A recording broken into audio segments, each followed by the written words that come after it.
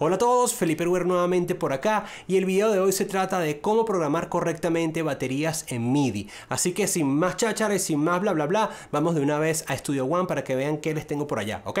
Bueno, aquí estoy en mi sesión de Studio One, ok, voy a abrir mi mixer y les voy a explicar más o menos qué es lo que tengo acá. Em, en principio ven que dice kick trigger, después dice kick in, kick out, snare trigger, snare top, snare bottom, eh, ton 1, ton 2, ton 3, ton 4, hats, ride, overheads y dos rooms, ¿verdad? ¿De dónde proviene eso? Eso proviene de mi sampler de batería favorito que se los mencioné en mi artículo y video de mis plugins favoritos, de mis 10 plugins favoritos. Y este es normalmente el que uso cuando estoy componiendo. Eh, todos estos canales provienen simplemente de el multisalida, el ruteo multisalida. Aquí ven que está todo el canal de cada una de las piezas de la batería. Yo simplemente aquí escojo el canal por donde quiera que salgan. Los dos samples del bombo están a la salida 1. El kick in del bombo acústico está al 2, el kick out al 3 y así sucesivamente hasta que llegamos al 15. El 16 no lo estoy usando. Em, y nada, una vez que tú estás aquí en tu Mixer Studio One, le das a esta pestaña de instrumentos y te muestra todas las salidas y seleccionas las que escogiste anteriormente dentro del sampler, ¿ok? Entonces, bueno, nada. Em, ¿Qué es lo primero que hago después que hago todo este ruteo? Normalmente yo ya tengo eh, mi, mi, plugin del sampler del SC5. Yo lo tengo como default. Ya él me carga todos estos, estos, todos estos sonidos todos estos sonidos ya él los carga inmediatamente en el sampler dentro del plugin porque lo tengo seleccionado como default. Una vez que ustedes cojan unos sonidos que les gustan, ustedes pueden venir fácilmente aquí y le dicen a esto Store as Default Preset. Entonces ya saben que cada vez que cargan el plugin se le va a abrir con estos sonidos que ustedes escogieron. Igualito con cualquier plugin lo pueden hacer. Este, bueno, después que yo abro el plugin, obviamente ya está ruteado eh, internamente por, eh, enviándose por todas estas salidas y lo que hago es descubrir, descubrir o hacer que aparezcan todos estos faders que representan esas salidas, ¿correcto?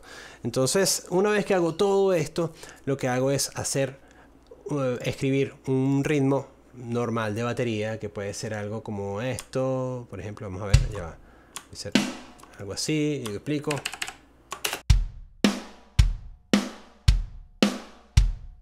Aquí en Studio One normalmente yo empiezo con un velocity de 90. Esto, esto puede llegar a 100 en Studio One. En los demás 12 que es 127, pero es, eso es un valor diferente. Aquí, aquí ellos lo toman como por porcentaje. Este es el 100%. Pero pasa que me suena un poquito, me suena un poquito real. Ya me suena como que el baterista no, no, no me suena real. Yo siempre empiezo con 90. Ok, después agrego algunos platos. Pueden ser, vamos a ver, estos dos crash. Y pueden ser unos hi-hats después. En cada uno de los golpes principales. ¿Verdad?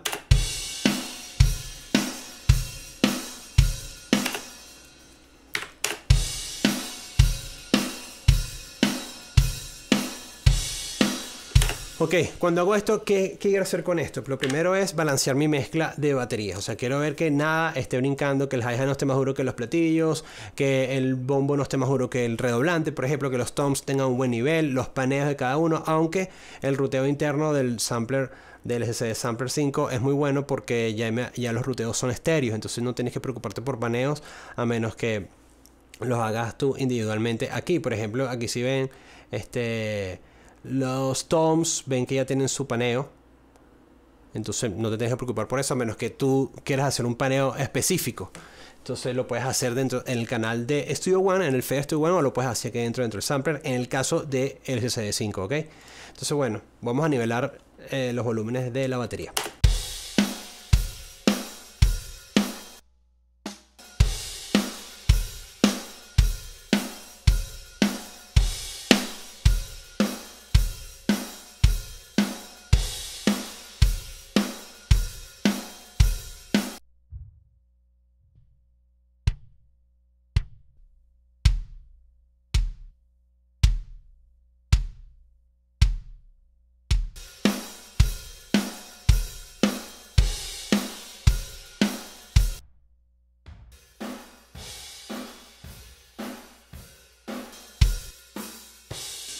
Por ejemplo, aquí en, los overheads yo escucho que hay, demasiado hi-hat. Entonces lo que hago, me vengo a mi sampler y escojo el hi-hat que este, en caso, eh, ¿dónde está aquí?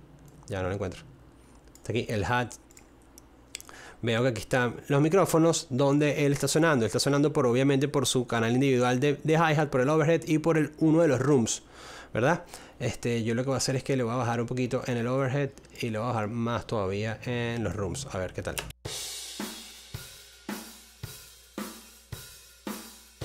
Ahí está sonando nada más el overhead. Si lo quito, no hay hi-hat.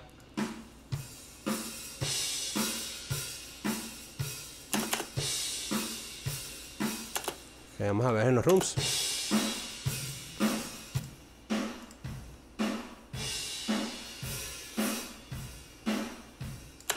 Obviamente esto es un proceso muy real porque en la vida real esto no pasa, esto no lo puedes controlar en la vida real, esto nada más, por eso es que este video se llama, o este artículo, o esto que están viendo se llama programación de baterías MIDI, ¿ok? Esto no pasa en la vida real, esto es una ventaja gigantesca a la hora de producir, pero esto en la vida real no pasa en la vida real, de verdad tienes que ingeniártelas para poder evitar todo el bleed que hay de hi-hat, sobre todo en los demás micrófonos, en todos los demás micrófonos, porque créanme amigos, el hi-hat es uno de los principales enemigos de cualquier ingeniero de mezcla.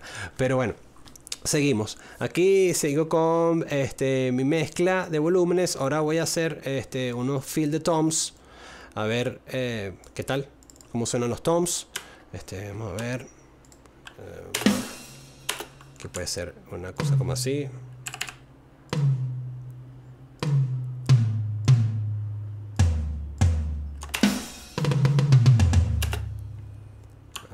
Faltan otros. Ok. Vamos a hacer esto para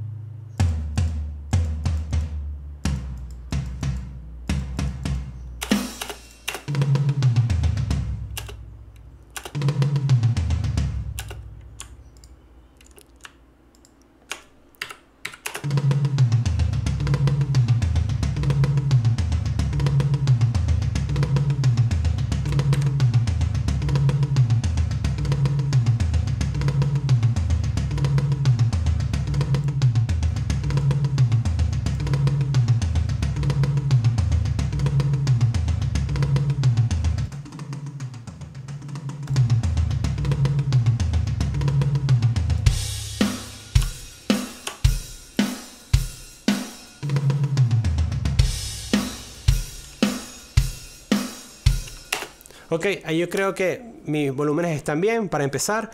Entonces, bueno, fíjense todo el tiempo que me ha tomado, apartando todo lo que tengo hablando, eh, todo lo que me ha tomado poder armar la parte de baterías nada más para empezar a componer. Si yo tuviese una idea en la cabeza ahorita o hace, no sé, 15 minutos, ya se me hubiese olvidado porque le tengo que poner atención a todo esto que estoy haciendo para sentirme como a la hora de componer. Por eso es que es tan importante crear plantillas, que es el video anterior que se lo voy a dejar aquí arriba, lo están viendo ahorita aquí en la esquinita del video, eh, para que vean cómo hacer plantillas, porque si ustedes hacen plantillas, Después de hacer todos estos procesos, ustedes pueden guardar esto como una plantilla. Inclusive, si ustedes ponen después guitarras, bajos, voces, teclados, lo que quieran poner y consiguen una ecualización que les gusta como maqueta, ustedes pueden agarrar y guardar eso como plantilla y la próxima vez que vayan a hacer una canción, una canción nueva, abren esa plantilla y ya tienen todo ruteado, ya tienen todo ecualizado, ya tienen todo. Entonces, ya saben que es muy importante tener plantillas para poder avanzar más rápido en la parte creativa cuando estamos creando una canción nueva y eh, necesitamos es que simplemente la inspiración sea la que hable y no la parte técnica.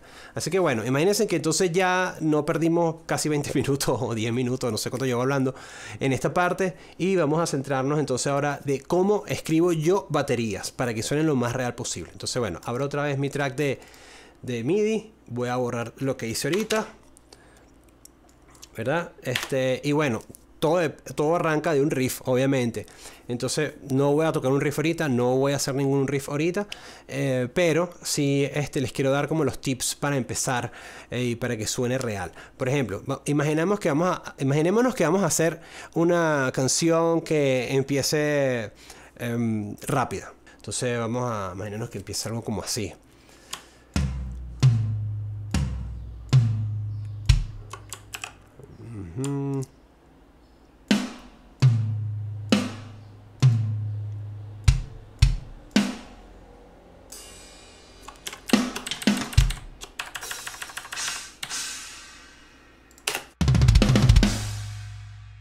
Ok, se escucha bien, ¿verdad? Claro, esa, esta batería suena increíble. Este, esta expansión de, de, de, de CCD suena demasiado bien. Inclusive les quiero mostrar que no tengo ningún tipo de proceso. En ningún lado, en ningún canal hay ningún tipo. Ah, bueno, sí, en mi en el bus de la batería sí tengo el Virtual Mix de Studio Slate, pero fíjense, es nada más un poquito de saturación de consola.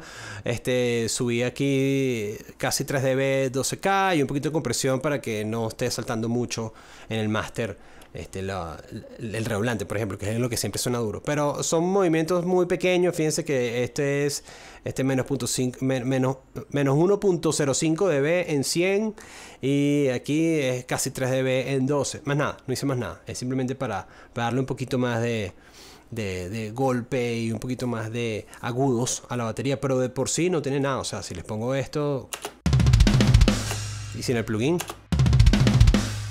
Obviamente suena más oscuro porque estamos acostumbrados al otro, pero ya de, raíz suena muy bien esta expansión. Entonces fíjense, el, este feel suena increíble así, ¿verdad? Pero ningún baterista lo toca así en realidad. En realidad ningún baterista lo toca así. Tenemos que pensar como un baterista. ¿Cómo es pensar como un baterista? Bueno, imaginemos que empezamos con este golpe de tom. Se supone que si el baterista es derecho, esa es la mano derecha. Y se supone que este golpe es la mano izquierda, porque si es derecho, esta es la mano izquierda, ¿verdad? Porque es el segundo golpe. Si es, si es zurdo, el, el baterista es totalmente lo contrario. Pero hay que tener en cuenta es la administración de las extremidades de, de los bateristas cuando hacen los fills y cuando tocan. Tenemos que imaginarnos al baterista tocando. Entonces, a mi imaginación dice que la mano derecha en un baterista que es derecho, la mano derecha tiene más fuerza que la izquierda. Entonces, yo a los golpes de la mano izquierda, que serán estos dos, estos cuatro que están aquí arriba, los voy a bajar un poco.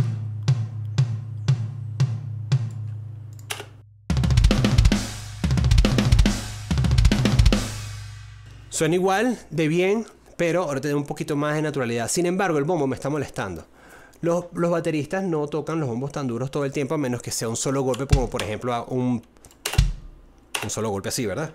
Pero en este caso son dobles, puede ser que sea un doble bombo o puede ser que sea un doble pedal. Si es el doble pedal, el approach es diferente porque están usando el mismo tambor, el cuero del, del, del o el parche, como lo dicen en otros países. El parche del tambor se mueve diferente cuando es, cuando es doble pedal. Cuando es doble pedal, el primer golpe mueve el cuero de una manera y cuando el cuero está regresando es que viene el segundo golpe. Por, por ende y por lógica y por física ese segundo golpe es más suave. Pero también en el doble bombo puede pasar lo mismo porque el pie izquierdo que sería el segundo golpe si el baterista es derecho es más suave. Entonces yo lo que hago es que agarro los dos bombos los bajo un poco. Y los segundos golpes los bajo más Escuchemos a ver.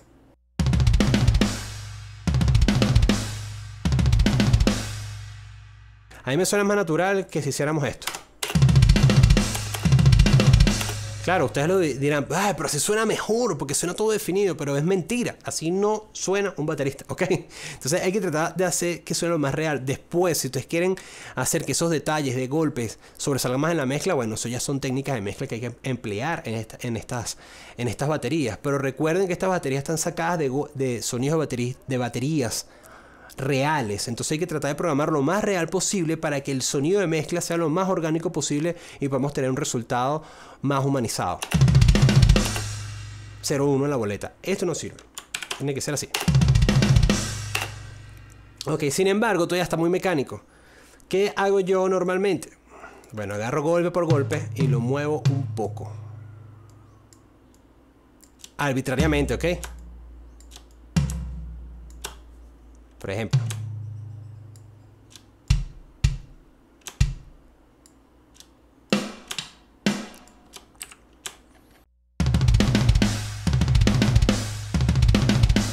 A mí me suena más a baterista. Pero ¿qué, qué, vieron ustedes aquí? Todo lo que me tardé nada más para mover estos golpes. Imagínense toda la batería completa. Bueno, Studio One tiene algo muy bueno que también lo tiene Pro Tools. Mm, eh, y creo que Logic también lo tiene, pero Logic nunca lo usé, pero es, es como una herramienta para humanizar. Voy a poner todo como estaba. Creo que así. Así. Yo lo tengo en un key command, lo tengo como Shift B de Velocity.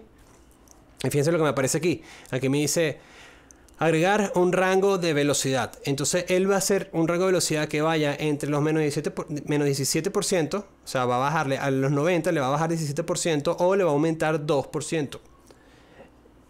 De manera random, de manera, de manera aleatoria totalmente. Y también este, esto es el, el dónde va a empezar la nota o dónde va a terminar si antes o después. Yo lo tengo a que lo haga a 13 milisegundos antes de lo que empezaría. Entonces, ¿qué pasa cuando yo lo digo? Ok, fíjense, fíjense, déjenme alargar esto para que vean algo. Ya va. Fíjense cómo se van a mover las notas cuando le digo OK. Miren como todo se movió un poquito hacia atrás.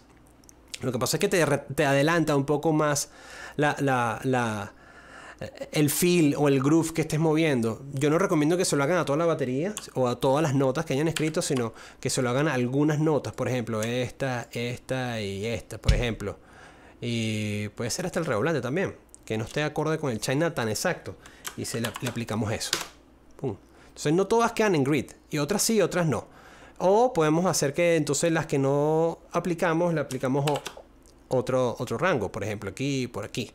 hacemos esto y ya está un poquito más eh, aleatorio todo. Vamos a escucharlo.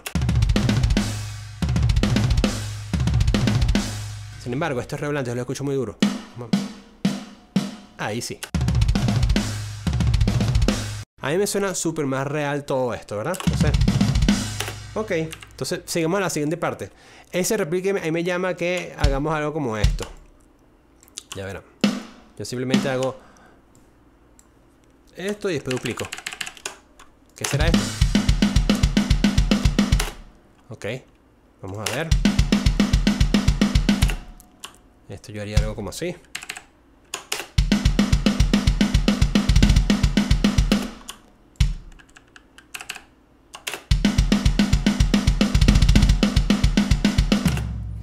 Aquí vendría un fill, ¿verdad? Entonces, esto puede empezar así. Los, estos tupa tupa, a mí me gusta que el primer golpe redoblante no exista. Me gusta así. Eso es algo muy sueco que me gusta bastante. Entonces, bueno, ok. ¿Cuál va a ser el platillo que va a arrancar este, este, este ritmo? Muchos dirán, bueno, ¿qué importa? Dale un platillo y ya. Bueno, a mí me gusta mucho pensar en la posición del baterista. Si el baterista viene de un repique como este, Fíjense que aquí termino con el China.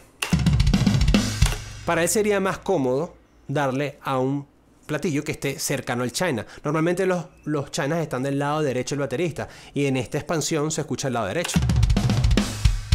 ¿Ven? Se escucha el lado derecho. Entonces yo le daría a un crash que está del lado derecho también, que sería este.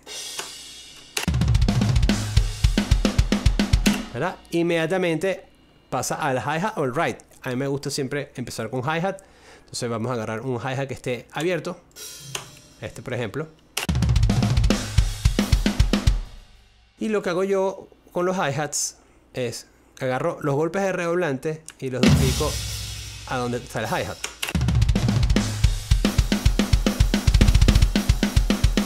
Suena más natural a comparación de bateristas que hacen esto.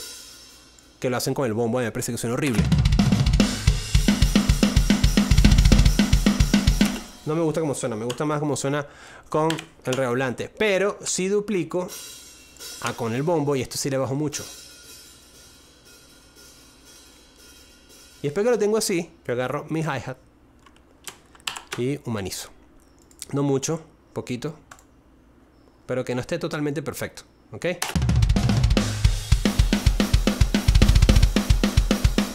Ok, pero aquí este bombo podemos hacer como algo como a ver.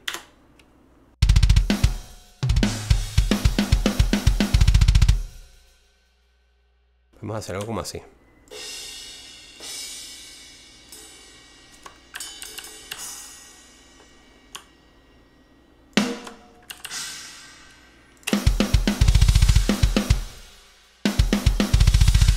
Claro, pero ningún baterista le da tan duro a, estos bombos así, así que vamos a humanizarlo un poco. Vamos a, a esto a, acelerar un poquito el, rango de velocity, o sea, bajarle más volumen. Fíjense cómo cambió la figura acá abajo, pero sin embargo yo lo a bajar más. pero respetando este, digamos, este golpe aleatorio que hizo el Studio One.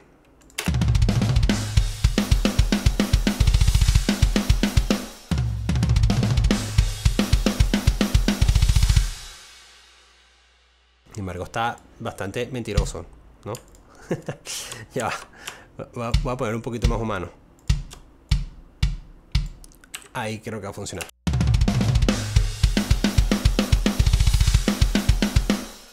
todavía no. Todavía aguanta más para abajo.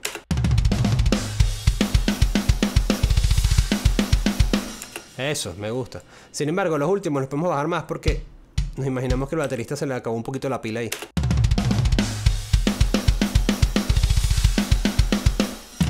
Bien, me gusta, me gusta cómo suena. Ok, bueno, ahora imaginemos, ahora imaginémonos que vamos a hacer un, un, un ritmo más rápido. Por ejemplo, un blast beat. El blast beat se hace de esta manera. Yo pongo mi primer golpe fuerte, el segundo más suave y el tercero más suave aún todavía. Y estos dos los duplico. Se queda algo como así. Se escucha bastante real, ¿verdad? Esto yo lo voy a mover un poquito. No le voy a bajar volumen, pero sí quiero que se mueva un poquito.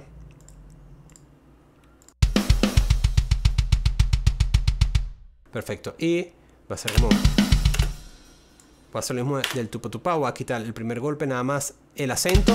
Voy a dejar el acento. Y aquí empieza el blast.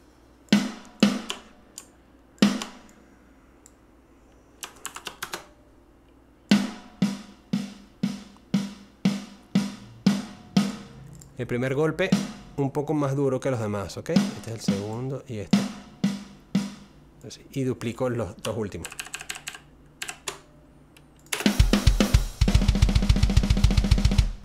Voy a más.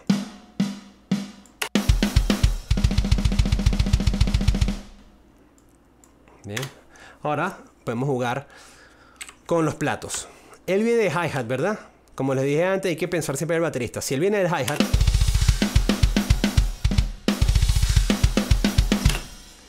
aquí vendría un platillazo y después vamos a hacer que pase para el ride. Entonces, el baterista, ¿a qué platillo le da? ¿El que está cerca del hi-hat o el que está cerca del ride? Bueno, eso, eso ya creo que es a cuestión de cada quien. A mí me gustaría darle al que viene cerca del hi-hat, por ejemplo, este. Para después arrancar aquí con el otro y hacer las acentuaciones en el ride. Por ejemplo, estas. Y duplico y pongo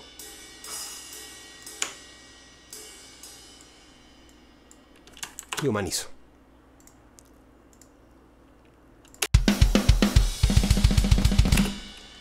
Vamos a bajar, vamos a hacer unos acentos diferentes, ya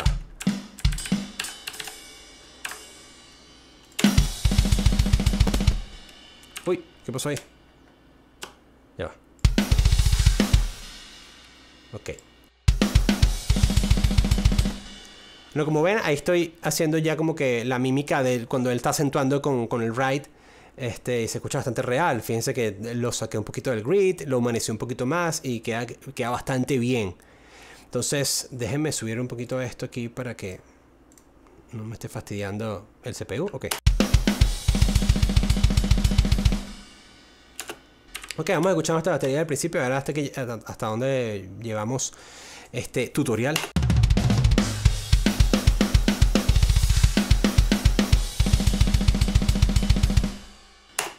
Que me parece que suena bastante, bastante, bastante humano, ¿verdad? Sin embargo, aquí, estos golpes yo los movería un poquito. Y los bajo un, poco.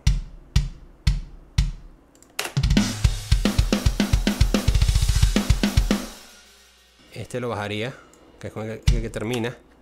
Aquí el baterista agarra un poquito más de fuerza y aquí vuelve a su fuerza normal en las piernas.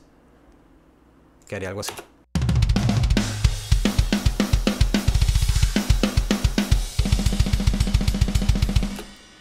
Y podríamos hacer, para terminar, un repique como este.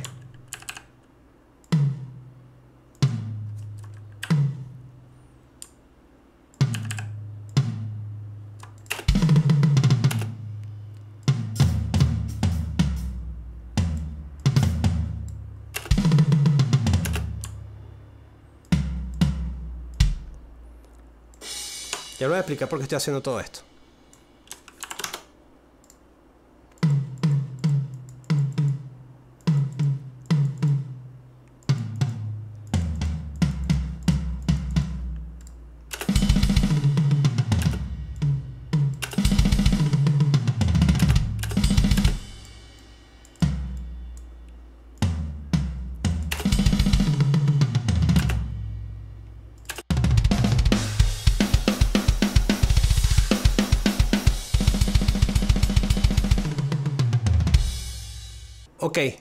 Fíjense, aquí en el repique quise pasar por todos los toms y después terminar con un platillazo aquí normalmente como hacen los bateristas.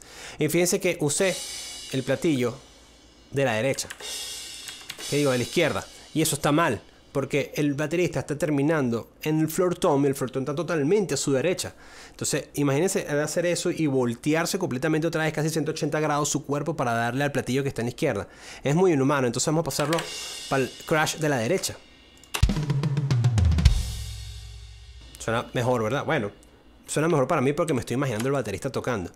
Entonces, vamos a darle una última pasada a ver si noto algo que, más que les pueda explicar y les pueda, les pueda decir por qué lo hice así, pero creo que ya está todo cubierto por los momentos. Vamos a ver.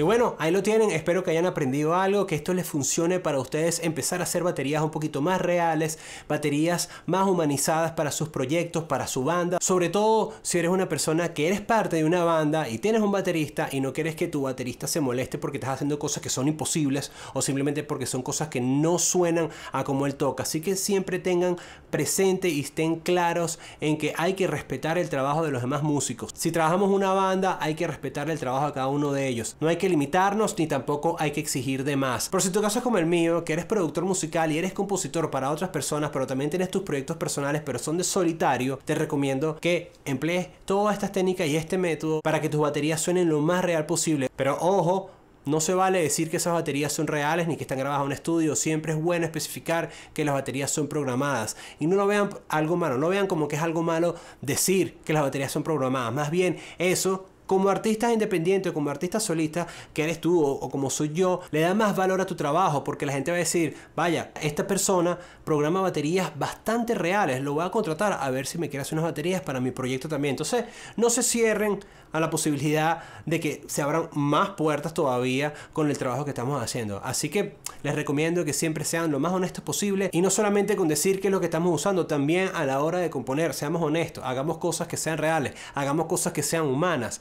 No tratemos de engañar a la audiencia, a nuestros oyentes con cosas que son imposibles, que posiblemente cuando las vean en vivo no van a ser así y nuestra reputación cae al piso. Así que bueno, espero que hayan aprendido algo y que hayan disfrutado de este video. Ya saben que le pueden dar manito arriba si les gustó este video. Suscríbete a mi canal si no estás suscrito. Y si tampoco te gustó el video o no te gustó el video, bueno, también le puedes dar la manito abajo. No hay ningún problema con eso. Pero ya saben, me pueden seguir en mis redes sociales por Felipe Gruber. En todas, en todas me llamo Felipe Gruber. Así que bueno, nos vemos en el próximo video. Espero que lo hayan disfrutado y bye.